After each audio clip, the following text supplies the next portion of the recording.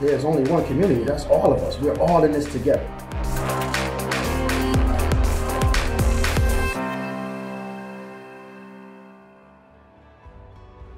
What is DBG?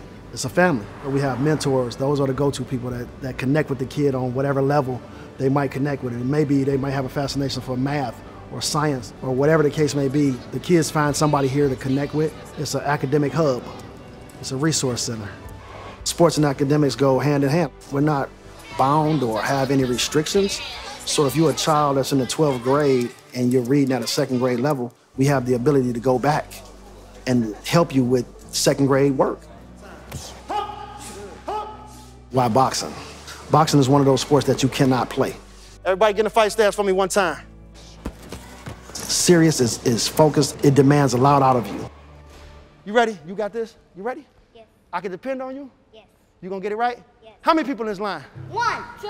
The world is a tough place when you're not equipped to deal with it. I've seen a lot of guys still going through the same struggle that I went through without a place uh, for, for support. There was no mentors, there was no gatekeepers there to provide an answer to some of these questions that was plaguing our community. That's what my journey was like. You know, I was going through Detroit Public Schools, never learned how to read and write. I seen so many kids getting that same narrative for them. Education is the key to everything.